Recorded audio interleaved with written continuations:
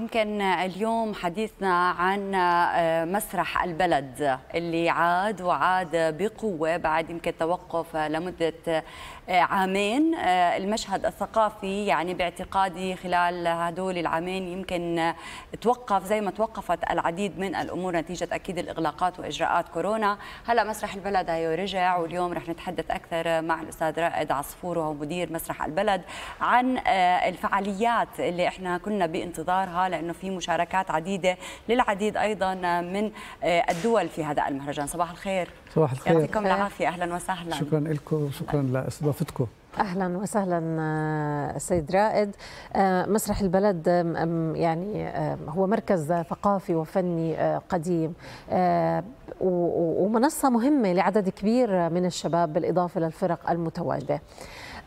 خلال فترة الكورونا مثل ما ذكرت أنت حضرتك يعني كان في شغل بسيط من خلال الأونلاين ولكن دائما الأونلاين في هيك تفاعل أه، مطلوب أنه يكون حي ومباشر مع الجمهور. اليوم عدتوا ببرنامج الحمد لله ما شاء الله مليء وزاخر يعني من بعد أيام يمكن ب 24 26 بتبلش أول نشاطاتكم حتى يعني بالفترة هاي بقصد حتى نهاية العام. فخلينا هيك نعمل ملخص للبرامج القادمة. يعني إحنا بدينا تقريبا من فترة الصيف آه، بدينا من من خلال مشروع بلدك اللي هو رسم الجداريات ونظمنا عروض موسيقية في المدرج الروماني في خلال شهر سبعة. وحاليا عندنا عرض أربع عروض يوم السبت والأحد القادم رح نستضيف آه، فرقة من فلسطين اسمهم 47 صول وعندنا فرقة من الأردن اسمها أوكتاف وعندنا من مصر فرقة مسار إجباري وعندنا برضه من الأردن آه، الفنان آه، بشر أبو طالب. آه، حيكون في برنامج متواصل بالعروض الموسيقية يعني الشهر القادم في عروض بس يعني رح نفوت للعروض الداخلية. مهرجان بلدك مستمر كمان برسم الجداريات. عندنا جداريات في إربد الشهر القادم برضه حنرسم بإربد. عندنا مهرجان حكاية برضه حيبتدئ مع وزارة الثقافة بشهر 11 وراح نضلنا يعني مستمرين عم نحضر بنرجع بكثافة فنية عشان نتواصل مع جمهورنا الكريم. يعني إحنا عم نشوف فعاليات عديدة هلأ رح نتطرق نتطرق لها أكثر بشكل مفصل. ولكن دائما بنقول آه، المسرح الموسيقى الفن بالعموم آه، والثقافة آه، خاصة بهاي الأمور بتوصل رسائل مش بس بتعطي خلينا نقول يمكن ترفيه لأنه هو جزء كثير كبير هو ترفيهي. ولكن لما بنحكي عن رسم الجداريات كان في لكم رسالة حاولتوا إنكم توصلوها من خلال الفنانين أكيد اللي شاركوا يعني برسم الجداريات. كل سنة إحنا عادة نختار تيمة معينة صح. وبنشتغل حواليها يعني مع مجموعة من الفنانين العرب والأجانب والأردنيين السنة هاي حاولنا يكون التيمة اللي نشتغل عليها حق الوصول للموارد الأساسية اللي هي كلمة والتعليم والبيئة حق النظيفة للجميع. نعم. حق للجميع فابتدأنا رسمنا في مدرسة ربة عمون في وسط عمان مع مدرستي مبادرة مدرستي مع فنان إيطالي كنا بنرسم عن حق الوصول إلى الماء النظيف للأطفال آه، في إربد رح نرسم عن حق التعليم آه، مع الفنان الأردني يزن مسمار آه، ورح ومستمرين بهذه التيمة عم نشتغل حاولوا تغطوا العديد من المناطق. بنحاول طبعا لأنه يعني خلال فترة يعني عمر المهرجان اللي صار له الآن 10 سنوات يعني إحنا تقريبا اشتغلنا بأكثر من 25 منطقة في في عمان وفي الأردن. واشتغلنا كمان على حي كامل في جبل الهاشمي.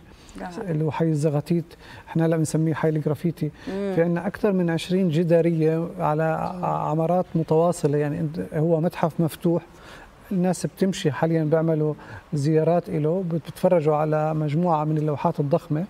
على العمارات الموجودة في جبل الهاشمي أنا رحت زرته والله. وحتى في كثير من الجميل إنه آه، يعني الأخبار هذا المعرض المفتوح إذا نسميه وصلت برا عمان. يعني في كثير من اللي بيجوا من الولايات المتحدة الأمريكية بيقولوا بدنا نروح هناك نزوره ونتصور جنب هذه الجداريات الجميلة. فرائع شغل رائع يعني, يعني هو نادر إنك تلاقي في في مدينة هاي المساحة المتخصصة مخصصه باللوحات والجداريات الكبيرة اللي انت ممكن تشوفيها كلها مرة واحدة تاخذيها دفعة واحدة وبرسائل مختلفة يعني صح. لأن كل سنة تضاف رسائل جديدة من خلال الجداريات رأى. وفنانين عالميين ومعروفين في العالم يعني هم لما بيجوا على عمان وبرسموا وبحطوا على وسائل التواصل الاجتماعي هذا شيء يعني طبعا. مكسب لنا إنه إنه هدول زاروا الأردن واشتغلوا معنا ورسموا في بلدنا صح. والله يا ريت تكثروا منهم هدول الجداريات عن جد لأنه بالفعل يعني مشهد آه، فني وثقافي وحضاري جميل جدا.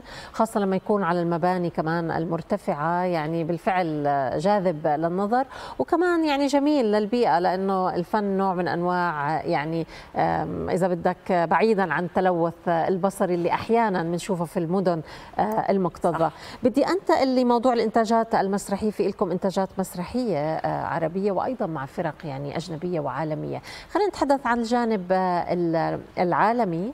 وخلينا نتحدث عن الإنتاج القادم محلي. يعني هو الإنتاج القادم إنتاج مهرجان اللي هو حكاية. يعني عادة حكاية إحنا بنستضيف عروض عربية وعالمية. آه. وبنساهم بإنتاج بعض العروض المحلية مع الفنانين العرب والأجانب.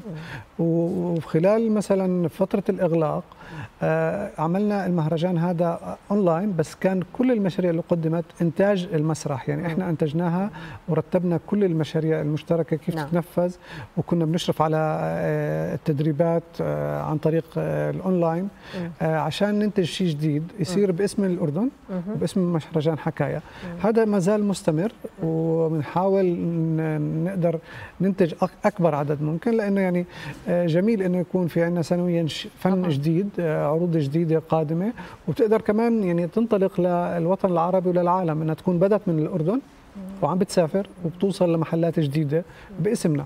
ويعني آه، هذا بنحس إنه كمان مسؤولية لأنه يعني أنت من خلال الفن زي ما حكيت تفضلتوا إنه في رسائل كثير مهمة إحنا عم نوصلها للجمهور وبنتواصل معه وبنشوف ردة الفعل وبنحاول نبني على آه، ردود الناس وكيف استقبلوا الأعمال الفنية.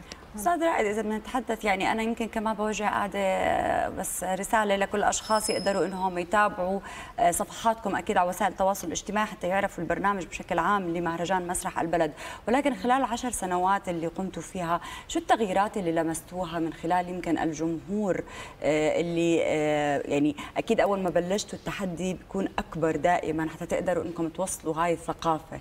فيعني وحتى تقدروا تجتذبوا العديد من الجمهور. خلال عشر سنوات شو التغيير؟ شو التغذية الراجعة اللي شفتوها من خلال الأشخاص؟ يعني لما بدينا إحنا بدينا كنا يعني كان بصعوبة بالغة إنك تقدري توصلي للناس صح. عشان تفهميهم إحنا شو عم نعمل وإحنا شو بدنا نتواصل مع بعض ونتحاور. نعم. بس بعد عشر سنوات يعني كان في تطور كبير. في مبادرات كثيرة انطلقت من المشروع واستمرت لوحدها. آه، في آه، شركاء كثر صاروا في في, في الأردن وفي الوطن العربي لمسرح البلد. آه، إحنا بنحس إنه يعني الآن صار في تقريبا شبكة كبيرة من المؤسسات الثقافية الفنية اللي بنقدر نشتغل سوا يعني بمشهد فني مستقل. بنقدر نتواصل نقدر نبني مع بعض. وبنقدر يعني نلمس احتياجات الجمهور الأردني والجمهور العربي. وهذا يمكن يمكن اللي بيخلق دائما تحدي. انك أنت بدك تضلك دائما متواصلة مع الجمهور وتعرفي إيش وين بدك هلأ شو الخطوة القادمة؟ شو هل مثلا أنا أروح بالاتجاه الجداريات؟ هل لازم يكون الموسيقى هون؟ المشاريع الحديثة؟ بدك تكوني مطلعه على كل طبعا. المشهد في, في مش بس في, في الأردن في الوطن العربي وفي العالم مم. عشان نقدر يعني نبني يعني ونتواصل. عبارة عن قياس لاتجاهات الناس والأوقات المناسبة لكل نشاط من النشاطات والطلب يمكن عليها أحيانا. أه بدي أتمنى لكم كل التوفيق أه وإن شاء الله آه، العام القادم أيضا تستمروا بنشاطات أكثر وأكثر من بداية العام. وأكيد دائما إنتاجاتكم جميلة وفي يعني كمية إبداع زي ما قلت لك وأتمنى مرة ثانية إنكم تكثروا من الجداريات في عمان. شكرا لكم وإحنا يعني عن جد يعني إحنا سعداء جدا انه بنتواصل من خلالكم مع الناس كمان. يعني التلفزيون الأردني من أهم المنصات اللي إحنا بنقدم أعمالنا من خلالها. سعداء. آه ونتمنى تكونوا معنا يوم السبت والأحد القادم في العروض الموسيقية في المدرج الروماني. إن شاء الله. إن شاء الله. أكيد المدرج الروماني آه رح آه هذا المكان الجميل التاريخي يعني رح أكيد يحتضن فعاليات فنية. بنتمنى كل الاشخاص يتابعوا صفحاتكم حضراتكم تعرفوا أكثر وأكثر عن الجدول. رح تكون الفرقة الفلسطينية 47 هاي الفرقة اللي كثير يمكن عم بيستنوها وعم بينتظروها. يا إحنا السبت حيكون فرقه 47 مع أوكتاف من الأردن والأحد مسار إجباري من مصر وبشير أبو طالب من الأردن. مدير مسرح البلد رائد عصفور شكرا. شكرا جزيلا.